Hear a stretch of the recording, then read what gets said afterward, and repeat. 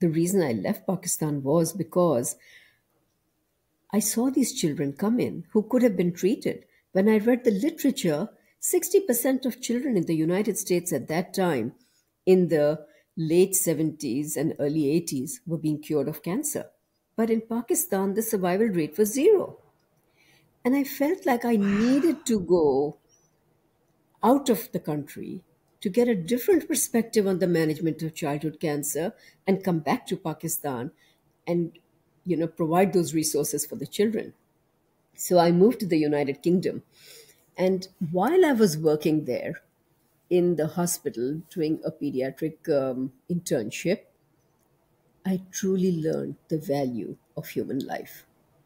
When you're in a country where children die left, right, and center, because they're brought in late, because the family doesn't have the resources, because diagnosis isn't made, because there isn't any time or place to take care of them,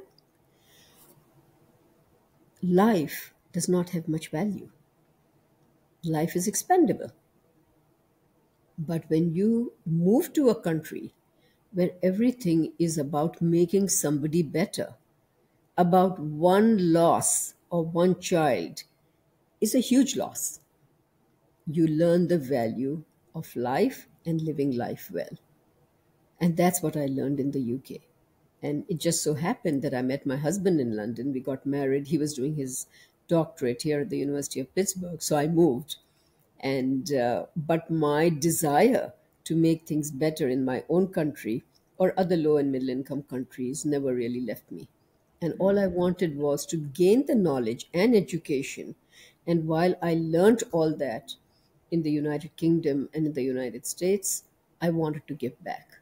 And that's what I've done for the remainder of my life.